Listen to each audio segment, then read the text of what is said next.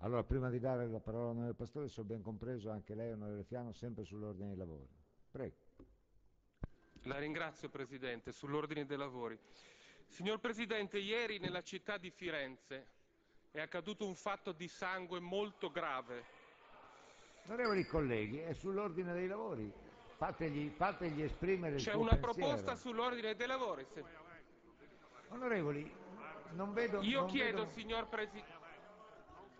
Io Signori, cre- chiedo, signor Presidente, intanto che vengano ricordati in aula i nomi di due esseri umani che ieri sono stati uccisi, che si chiamavano Sambo Modou di 40 anni e Diop Mor di 54 anni. Chiedo che il governo venga a riferire in aula sul gravissimo fatto occorso a ieri con l'uccisione di queste due persone.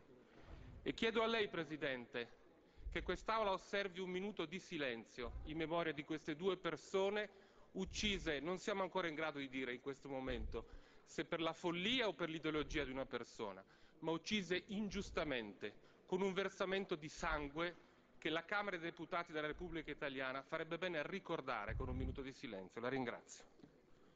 prego, grazie onorevole Fiano. Prego il sottosegretario per i rapporti col Parlamento di prendere nota della richiesta dell'onorevole Fiano che la Presidenza condivide. Prego, onorevole Evangelisti. Anche lei sulla questione? Soltanto per ringraziare l'onorevole Fiano e associarmi alla sua richiesta. Grazie. Onore- Prego, onorevole Raisi, prego. Per associarmi alla richiesta onorevole Fiano, a nome del gruppo.